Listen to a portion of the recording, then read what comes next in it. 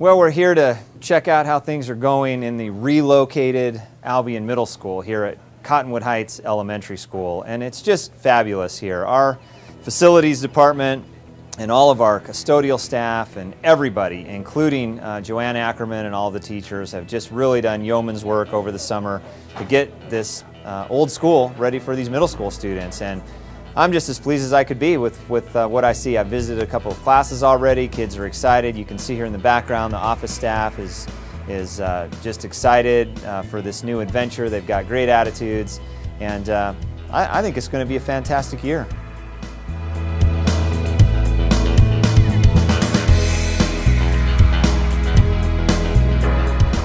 Good luck to you guys. I hope you have a great day, great year. I'm sorry it's hot in here.